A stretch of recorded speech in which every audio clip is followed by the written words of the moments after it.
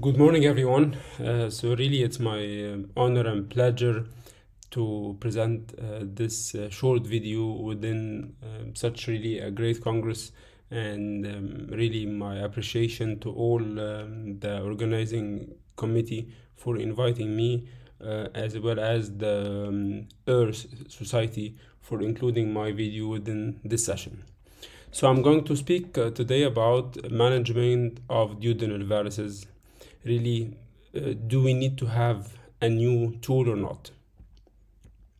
So ectopic varices is uncommon. However it uh, accommodates up to 5% of variceal bleeding.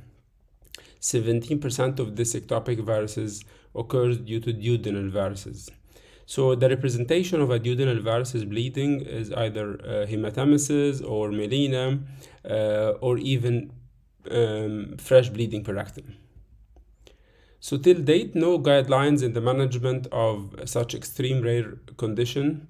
A lot of uh, literature um, tested the idea of endoscopic band ligation, sclerotherapy, uh, also intervention radiology, as well as surgery. So what I'm going to show today, uh, it's uh, the usage of one of the hemostatic powders to manage acute duodenal variceal bleeding. So as you all know, this is the one of the very common hemostatic powder, the hemospray. And as you can see in this picture, when the hemospray is applied over any bleeding site, it will absorb water and to change to a foam-like structure that acts as a mechanical barrier over the bleeding site. It stays in position up to 12 hours and then it will be eliminated uh, through the GI tract.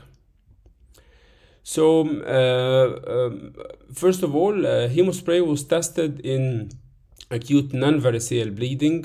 Uh, this is one of the recent study on 191 patients as a res rescue therapy with primary hemostasis more than 90%.